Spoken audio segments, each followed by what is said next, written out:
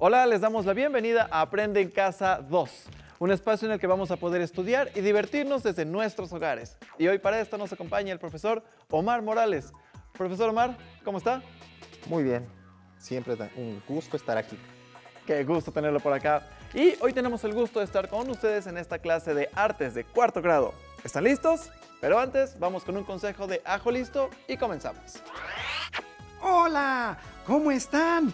Espero que muy bien. Qué bueno que salgo en la tele. Así los puedo ver todos los días. Recuerden que es importante seguir cuidándonos, lavándonos las manos por lo menos durante 20 segundos, usando mucha agua y jabón. Vamos a ver cómo hay que lavarnos las manos. Me las lavo con agüita y con jabón.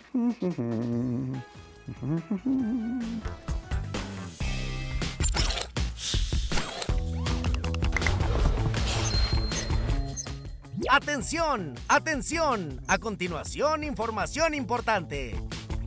Lavarnos las manos varias veces al día es importante para prevenir cualquier enfermedad. Sigue estos pasos para hacerlo correctamente. Moja tus manos. Usa suficiente jabón. Frota tus palmas una con la otra. Ahora, frota la palma de una de tus manos contra el dorso de la otra entrelazando los dedos. Repite lo mismo con la otra mano. Frota los dedos. Ahora haz como que rasguñas la palma de tus manos para lavar tus uñas. Enjuaga tus manos con agua. Sécalas con una toalla. Y listo, tus manos están limpias. Si no tienes agua y jabón, usa desinfectantes a base de alcohol. ¡Cuídate! La clase anterior identificamos diferencias entre piezas artísticas bidimensionales y obras tridimensionales. Elaboramos una escultura con la técnica de sustracción y conocimos el trabajo del escultor José Mustaros. En esta clase exploraremos el arte tridimensional de la cartonería. Aprenderemos en voz del especialista Marco Antonio Medina este oficio y nos acompañará el artista plástico Alejandro Milet para elaborar una pieza tridimensional con la técnica de cartonería. Quiero compartirte algo, mira. Mira. Déjame mostrarte esto. Mira, esto es un librario. Sí. Este librario, te voy a contar la historia. Este librario me lo regaló una alumna llamada Vania, que fue del año de- del 2013. Estamos hablando que ya tiene siete años, que me lo regaló un 15 de mayo. Wow. Entonces, tiene una historia eh, de mucho significado. Y bueno, ¿qué te puedo decir? Este, el que me lo haya regalado fue, pues para mí fue grandioso. Y más que también el, de- el regalo, es el detalle. Obsérvenlo, observa este detalle. Mira, O sea, ella lo hizo. ella lo hizo. Y mira, yo te puedo decir, tomando las características de las sesiones anteriores de tridimensionalidad, pues que tiene, que tiene, que tiene, eh, tiene un, un cuerpo, un cuerpo geométrico, pues, un- ¿qué te puedo decir? Es un rectángulo. Un rectán- bueno, tiene la figura de un rectángulo, es de un prisma rectangular, este, algunas partes que puede ser cilíndrica, incluso por lo de los brazos, una esfera que son, están hechas con los ojos, el- la boquita y, bueno, en este caso tiene, Como circular. tiene, tiene forma circular, también incluso está rugoso en esta parte, en esta parte que se encuentra, que en un momento lo, puedes, lo vas a poder tocar, está rugoso, está muy rugoso. Los colores, bueno, ¿qué colores vamos a identificar? Bueno, tenemos los colores lila, podemos identificar el blanco, negro, rojo, aquí tenemos más negro, gris, Gris. mm, color carne, pues si, si, lo, si lo doy de lado, pues tenemos el rojo, amarillo y azul. ¿Cómo ves? Qué Pero bonito está. está. Está grandioso. Pero me gustaría que lo, que lo tocaras y me dijeras de qué material está hecho. Bueno, es, es cartón. Papel, cartón. Y, Como con resina. Ajá, y te, eh, me gustaría hacerte una pregunta. ¿Alguna vez habías escuchado esta palabra de cartonería? No, no, no, no.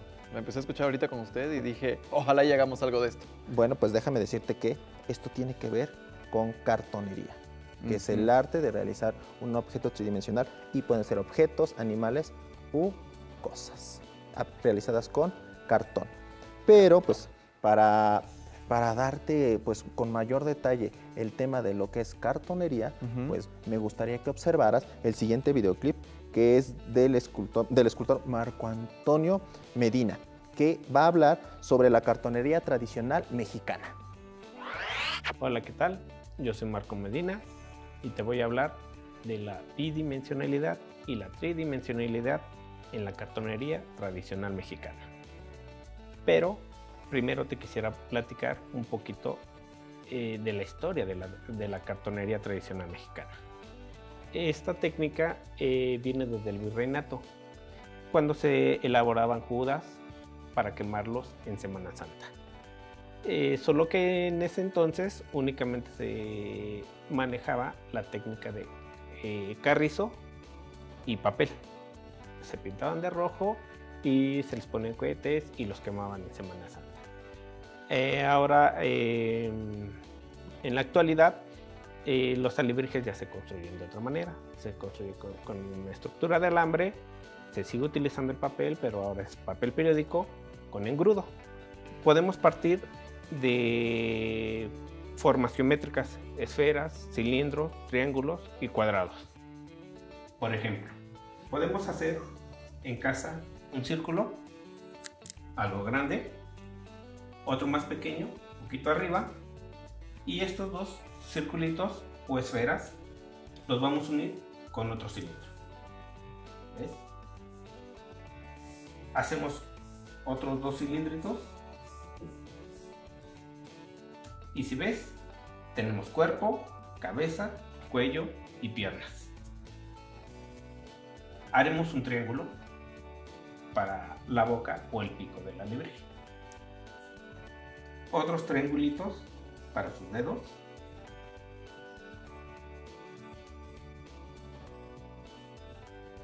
¿Ves? Un circulito más para su ojo, orejas de esta manera. Esta es la base principal del alebrije. A partir de aquí puedes echar a volar tu imaginación. Le podemos poner alas, cola. Podrían ser dos colas. O tres. Podemos ponerle antena. Y esta es nuestra forma bidimensional. Ahora pasaremos a la forma tridimensional. Esta, si bien ves aquí, esta es la esfera para el cuerpo, la esfera para la cabeza, dos triangulitos si queremos hacer la boca abierta y los cilindritos. De esta manera lo llevamos a la a la parte tridimensional, porque lo podemos sentir y ver por tres eh, caras diferentes, izquierda, frente y derecha. Eso es lo tridimensional. Aparte de que lo puedes sentir y puedes jugar con él. La cartonería tradicional mexicana eh, en los últimos 10 años ha tenido muchísima importancia. Eh, ha tenido un auge o un boom, si le podemos llamar así, puesto que muchos artistas la han retomado como eh, parte principal de su obra. Estas, estas piezas, este material o esta técnica es muy noble. Eh, el papel, al mezclarlo con el engrudo, se vuelve muy maleable y puedes hacer formas eh, eh, muy, muy bonitas o muy bellas. Ha evolucionado muchísimo, como te comentaba. Ya ahora empleamos estructuras de alambre, eh, se sigue manejando el papel periódico, pero pues ya para hacer este, formas o criaturas eh, de mayor formato ya se emplean eh, pues hasta metal, ¿no? De alta resistencia. Te invito a que lo practiques en casa. Ocupas muy pocos materiales para hacer tu diseño, únicamente papel, lápiz, goma, por si quisieras cambiar algunas formas, y eh, puedes este, tomar este, estos cuer- cuerpos geométricos con esferas de unicel. Palitos de madera y lo demás lo pone tu imaginación. La imaginación es fantástica. Échala a volar. Muchas gracias. Es muy interesante lo que nos explica Marco Antonio Medina en la cápsula. ¿Identificaste este proceso para realizar una pieza, una pieza con cartonería? ¿Tú lo identificaste? Sí, bueno, es, empieza desde el boceto, ¿no? Desde que tiene la idea, lo empieza a plasmar en papel. ¿Y cómo va em, con alambres? ¿Fue Empieza con alambre, Sí. le empieza a dar esta forma, este diseño y después comienza a, a darle este volumen. Claro. ¿Sí? claro. ¿Te acuerdas de este proceso? Sí, sí, sí. Y bueno, pues habla, y tú tocaste un tema muy importante, que era eh, o qué es el boceto. Pero Sí. bueno, el boceto, tú ya lo mencionaste, el boceto es el dibujo o la idea previa de lo que va a realizar el artista, ya sea pues eh, el, el modelo y ya después, después del modelo, pues incluso el mismo color que le va a ir dando. Entonces, y bueno, sobre esta técnica, eh, ¿te gustaría a ti realizar algo, algo, algo con cartonería? Sí, me encantaría. Estoy muy emocionado porque tenemos como invitado al artista plástico Alejandro Milet, especialista en arte popular, quien nos mostrará y guiará un proceso de elaboración de una pieza tridimensional con la técnica de cartonería tradicional. Por favor, bienvenido, bienvenido Alejandro. ¿Qué tal? Buenas tardes. Hola Alejandro, Alejandro, ¿cómo estás? Bien, bien aquí, un gusto. Pues mira, nosotros, nosotros somos, son, vamos a hacer en esta ocasión quienes seguiremos tus pasos y, y nos gustaría que nos explicaras con, con mayor detalle, pues, esta arte, este tipo de arte tri- tridimensional, bueno, cartonería, en qué consiste y bueno, mm, estamos muy emocionados porque ya comenzar a trabajar. Tú, Ok. tú nos dices, nosotros estamos aquí. para- Sí, sí, muchas gracias. Bueno, voy a comenzar explicándoles un poquito de qué va la cartonería y traje algunos ejemplos que me gustaría que pudieran Gracias. tomar. Mira. Ok, bueno, la cartonería es una técnica artesanal que se desprende de la escultura, del modelado. Realmente esta técnica es muy sencilla, la podemos trabajar en casa con materiales de un uso muy común y las posibilidades son infinitas. Podemos hacer trabajos desde cosas muy sencillas, muy elementales, hasta personajes ya un poquito más, más complejos, ¿no? Ok, la cartonería surge como, como una técnica que viene desde China y poco a poco se va, con la migración de las poblaciones humanas, se va yendo al resto del mundo. Y cuando llega a Latinoamérica y a México, tiene una significancia como muy peculiar. Se hace de una manera como, como más popular y de una manera como agarrando elementos de la cultura. Y ese es el caso de los alebrijes. Los alebrijes son piezas hechas por la familia Linares, ya hace casi 100 años que se inventó esta técnica y muchos artesanos que ahora hacemos uso de esta, de esta técnica, desarrollemos alebrijes ahora con nuestro propio estilo. En este caso les voy a platicar qué materiales vamos a utilizar para la realización de un, de un alebrije. Ok. Los materiales son muy sencillos, son alambre, papel del reuso, este papel podemos conseguirlo de libretas viejitas, algún cuaderno que ya no ocupemos, pegamento blanco, agua, masking, pinturita como ya la había mencionado, pinceles, de pinceles hay una variedad impresionante, pero los pinceles que tengamos en casa están muy bien, y si fuera posible, un segundo tipo de papel. Ok, les voy a platicar un poquito. La cartonería se trabaja de una manera, pues, un poquito ruda, ¿no? Tenemos que utilizar mucho las manos, tenemos que ensuciarnos de resistol, pero yo creo que eso sí les gusta hacerlo, ¿no? Bastante. Terminar todos batidos. Ok, bueno, con mucho cuidado vamos a trabajar el alambre. Les voy a mostrar de qué manera van a hacer la estructura. Este alambrito es el que se utiliza generalmente para los albañiles. Es el alambre recocido. Hay otra variedad de alambres, pero este nos puede funcionar. Es muy accesible. Vamos a tomar de la punta de nuestra mano a nuestro hombro. ¿Ok? Vamos a hacer un pequeño doblez. Y con la pinza, con mucho cuidado, vamos a hacer un corte. Sí quisiera aquí que tomaran un poquito en cuenta que el uso de la herramienta tiene que ser con mucho cuidado. Hay un pequeño orificio donde se ve donde se hace el corte y tenemos que tomarla muy bien del mango y firme. para que no nos lastimemos. Ya tenemos nuestro alambre, ¿ok? Ok. Enseguida lo vamos a llevar a la mitad. Y vamos a trabajar con medidas de mano. Esto es para que nosotros podamos recordar cuánto medía la patita, cuánto medía la cabeza, cuánto medía el torso y no haya ningún problema, ¿no? Porque todo tenemos que hacerlo de un lado y posteriormente del segundo lado. Ok. Nuestras medidas de dedos van a ser tres dedos, cuatro dedos y dos dedos. Con tres dedos, ya que está a la mitad de nuestro alambre, hacemos un pequeño doblez y con mucho cuidado vamos a trenzar nuestro alambre tres veces. Una, dos, tres veces. Bien. ¿Hasta ahí no tienen dudas? No. No. Ok. Vamos a hacer nuestro doblez y si se dan cuenta ya aquí tenemos una cabecita o un cuellito. Con cuatro deditos vamos a marcar y otros cuatro para sacar todo el torso de nuestro, de nuestro pequeño alebrije. Y volvemos a hacer un entrenzado. Una, dos, tres veces.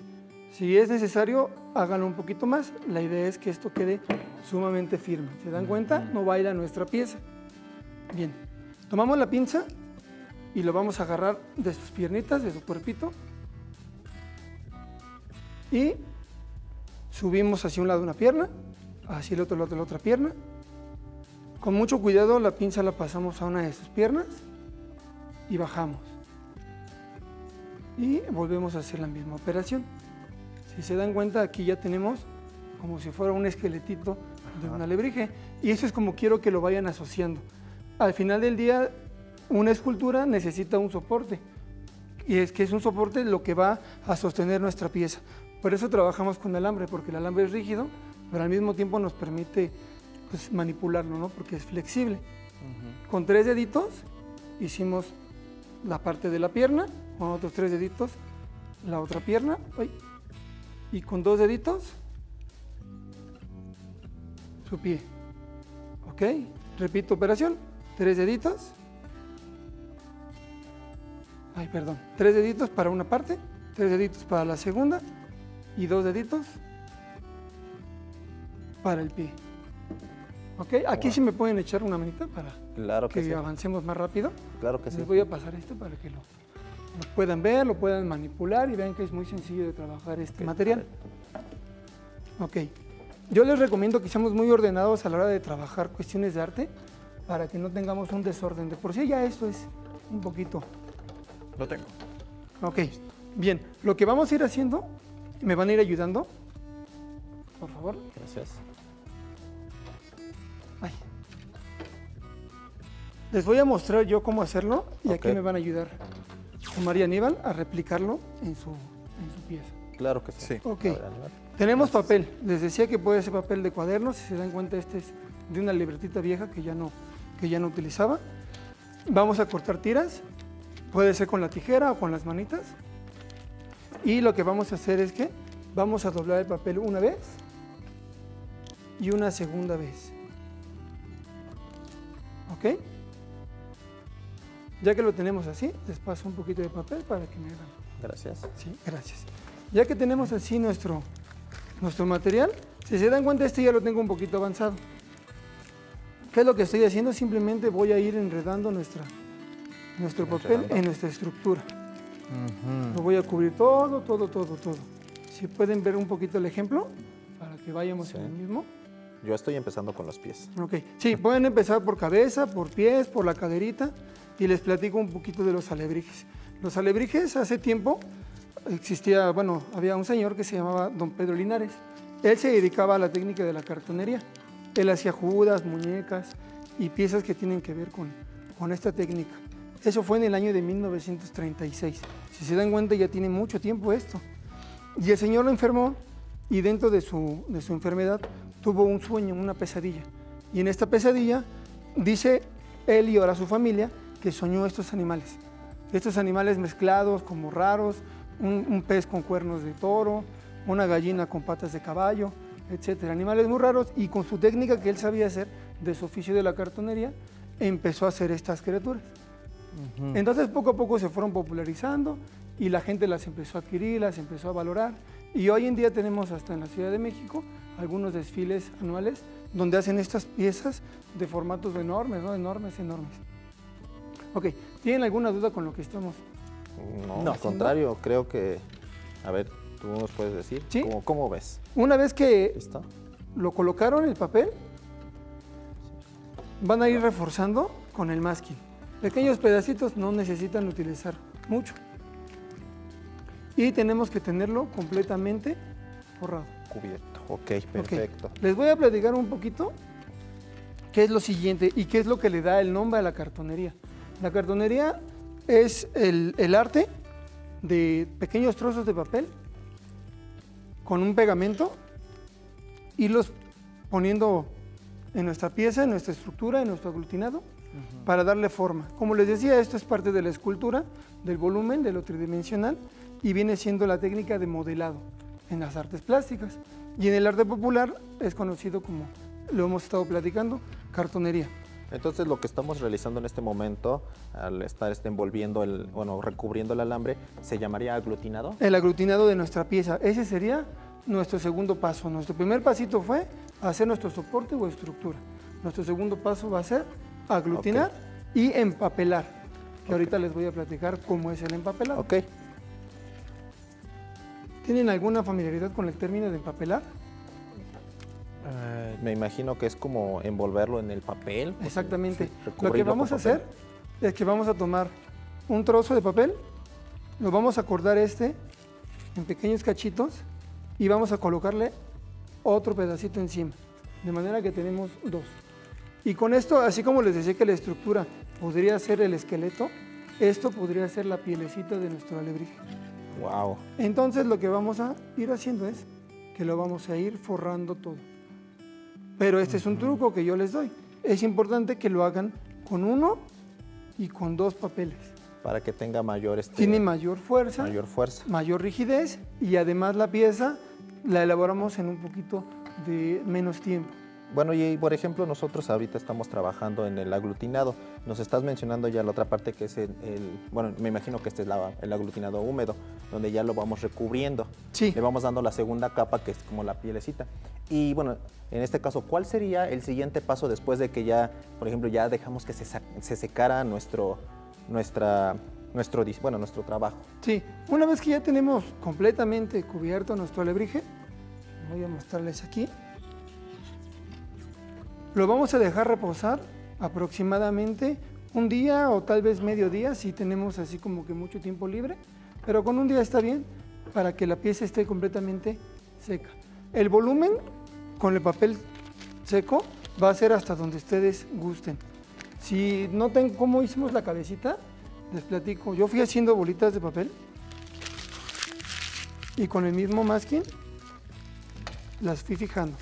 Y, y entonces el último punto, el último punto sería que ya comenzar la decoración. Una vez que está así ya seco, una vez que está así seco, vamos a empezar a pensar en colores. ¿Ok? Y aquí ya comenzaría la creatividad de cada uno de nosotros, en este caso de los niños, sería su creatividad del cómo lo, lo diseña. Sí, aquí les voy a mostrar un ejemplo.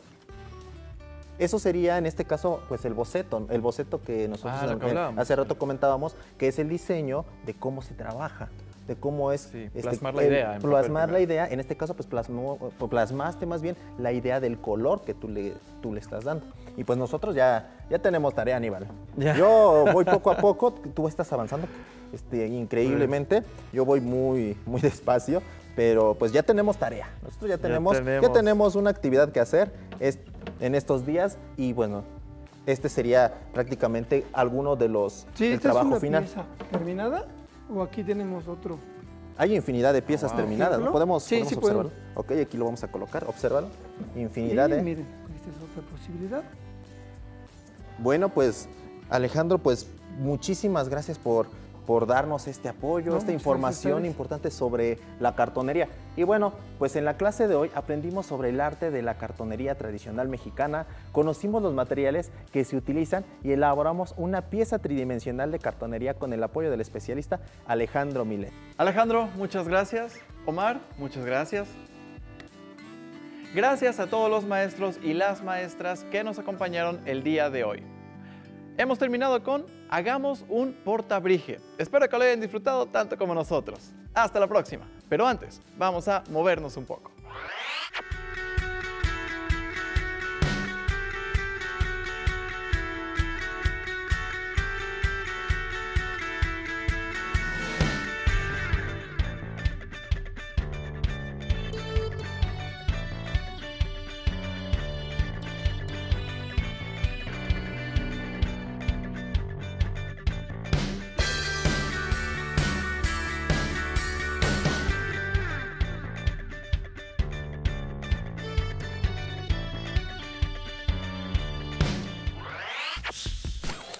Atención, atención. Información importante. Durante estas semanas tendremos un nuevo espacio en donde aprenderemos a trabajar por proyectos. Ponte atento los martes después de tu clase de educación física y los viernes después de vida saludable. Te divertirás y pondrás en acción tu creatividad.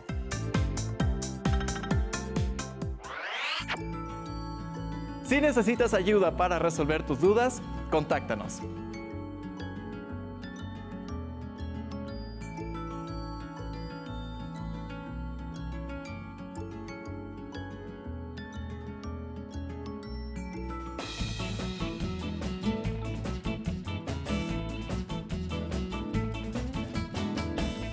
Quieres volver a ver los programas de Aprende en Casa, puedes encontrarlos en la siguiente liga, aprendeencasa.cep.gov.mx.